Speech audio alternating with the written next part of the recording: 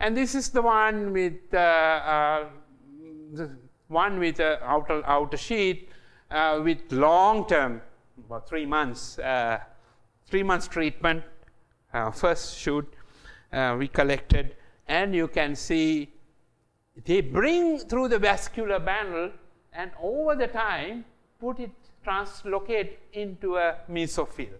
So bring it and bring put it into another thing as that get, get, get concentrated. Yeah.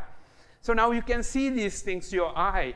This is a nice thing about bio elemental bioimaging, and you can see now it's in the and it's, it's dosed quite a lot. You know, at this kind of spot, 200 to 500 gold there. Now, a lot of these people question these things are, are they gold nanoparticles? So, AU3 plus ions, and we have done an, that small paper uh, the paper, we know they, they won't dissolve. Very little solubility, if you can look at it, these particles. Uh, very low solubility, and gold has a very solubility. Um, so you can see they are clearly they are absorbing. Um, now uh, I'm going to summarize what we have talking uh, now. Uh, you have uh, analytical advancements uh, these are ability to detect gold nanoparticle absorbed by plant tissue using LAICPM is demonstrated. Also, we were able to do spatial bio, elemental bioimaging. Uh, carbon 13 looks like a very good internal standard for many of our uh, biological work. And the method can detect as low as, well, this is the one that we had the lowest concentration, 1.6 milligrams per liter uh, gold nanoparticle concentration where you have this much of gold and then also it has a very high signal to noise ratio uh, and sample throughput is 15 samples if you are all good all good you know um, you, can, you can chunk out a lot of samples once you know the system and yeah uh, you can put it into that drawer about 15 samples and start tabulating yeah and and then uh, there's analytical advancement, and then we have uh, big picture advancements. I think uh, gold nanoparticles clearly enters into the rice. You saw that. Um, they are not distributed homogeneously, pretty heterogeneously. Uh, extent of uptake seems to depend on the surface charge. It depends on the positive, negative charge on that clearly and uh, this is very common for many things.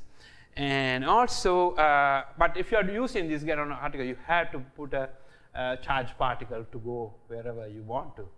Yeah, that's important for delivery purposes. Yeah, and also um, short-term. That's a 14 day or seven days experiment uh, uh, uh, uh determined by LAICPM is this order AUNP1 is the highest absorbed and the least absorbed is uh, uh, AUNP3, negatively charged. But, but this order get reversed uh, when you expose these things into long time. We don't know why. Yeah, yeah we don't know why.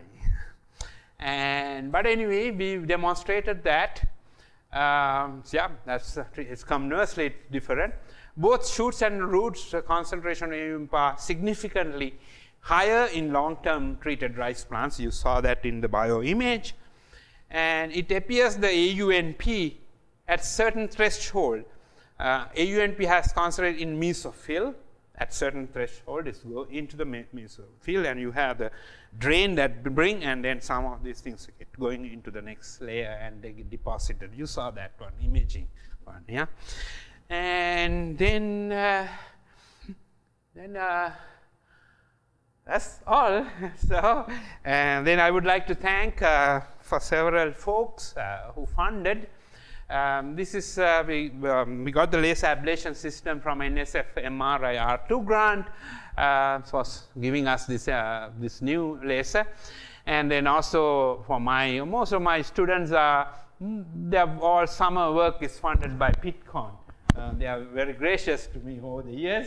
And also um, Jeremy Coleman and Tom Leland, who graduated uh, now, uh, they did their um, uh, work on these things, quite a lot of work. and Hua Huang Wang did a lot of hydroponic experiments. and then Vincent, Richard Vachet and Vincent Rotello uh, chemistry department sup supply these synthesized gold nanoparticles. They are the guys who make these things, and they have published a lot of things about these gold nanoparticles. Uh, and then also uh, our laboratory technician, uh, Christine Schraut, for this work. And um, once again, uh, thank you very much. I enjoy uh, and continue to enjoy in San Carlos. And thank you very much for inviting. And I'm looking forward for afternoon and that'll be very, very informal, but I will show you lots of, lots of uh, other application of bioimaging, uh, many examples including Chilean mummies and uh, Antarctic lichens and so forth. Uh, so, uh, and thank you very much. And uh, if you have questions, please go ahead. Yeah. if you use for standards, yeah the sun loss. And is it possible to use also the control heights for various numbers? You mean this guy? Yes. Yeah. Why not use the control heights? Control rise. Yes. This is the thing, one of those reviewers, this paper is now in January, you know, issue of uh, this work in uh, environmental pollution. One of the reviewers asking you can use rice control ones. Well, that, that's a possibility. We have used similar ones uh, with Chilean mummies' hairs, you know, using real hair samples. But we took this approach, you know, uh, initially, and then, yeah. But that's a good, that's a possibility. If you have uh, well characterized uh, sheets of, uh, you know, you grow them, right, you control, and then series of exposures, and then you find out normal, traditional way how much is there you can use that approach, yeah. But uh, the, when we start this work, we didn't know whether these guys are going in or not. yes, yeah. The hamster yeah. experiment, yeah. how many points do you obtain? Um, you mean the bioimage? Ah, that's about um, 300 to 300 block there. So that's, uh, there are about 300, so 50, uh, 50 micrometer uh, circle, right, spot size. That's about 10, 10 by 10. Oh, very small, small time, yeah. Yeah. That's about, no, not 10 by 10, it's about 6 by 6, yeah, 36, yeah. You can go to a very small size, even go to 25 and 10. Uh, I think uh, the signal, signal decreases. You know, we are doing right now uh, with whole, whole rice seeds. You know, it's a different project, nothing to do with gold nanoparticle. Whole rice seed is takes my students starting calibrating in the five o'clock in the morning and finish at eleven fifty in the night. Yeah, those are very thin you have to be there, you know, when you start this thing, you, never know. Light, small light goes up, down, you know.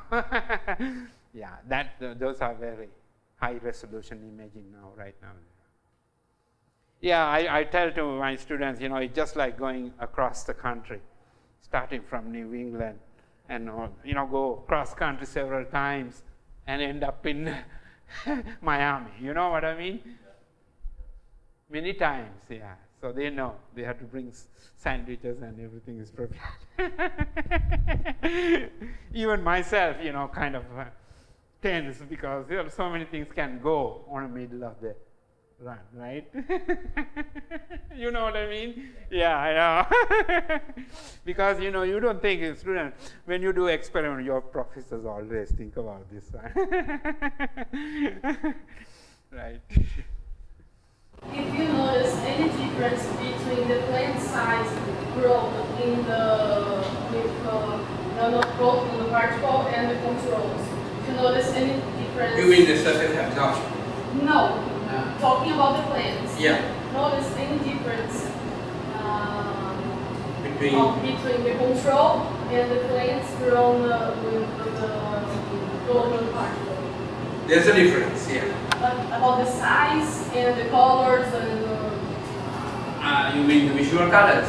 it's No, they look like kind of a off color, you know, um, whitish off color. um, Both you can't see, you know, visually gold there. Yeah, but the, uh, we, um, it can absorb certain times depending on the pore size of these uh, outer cells in the surface too. Yeah, we don't know those mechanisms. You know, we do know these are going in the mechanism.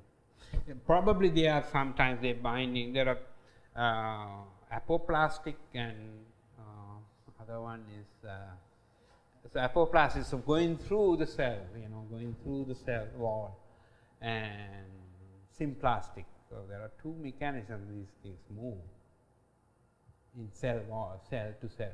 Yeah, you know, in the botany. Yeah, we don't know these physiological mechanisms. You know, it's the, it's the, this uh, science is at infancy. Yeah, we know now it's going in. Yeah, interesting to see that. Yeah, but a lot, a lot, everybody knows how these things are translated. Botanists know that how they translate metal ions, metal ions, like uh, they're well known. But these particles we don't know a whole lot. Did I answer that your question? Yeah. Okay. Here from the animations as a broad scale. That's it, yes. Here from you kind of information you had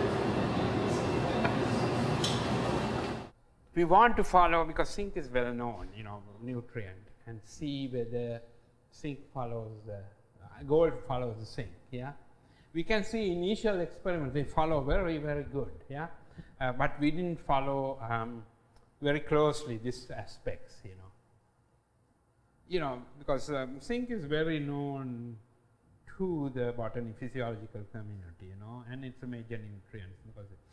It, you saw that slide, it follows very similar gold, but we didn't look at it very closely, you know, bioimaging wise, yeah. Yeah, when you put another element, it take a while, add, a, add another time to do the analysis, yeah, you know what I mean? Yeah, yeah, yeah. yeah, in the beginning, you know, you were, okay, let's get this gold stuff, yeah, yeah. Usually takes, uh, you know, these things take about two, three hours to do that, but uh, but the seeds uh, we are doing is a hell of a lot of time. Yeah, yeah, but it's good to look at it. Yeah.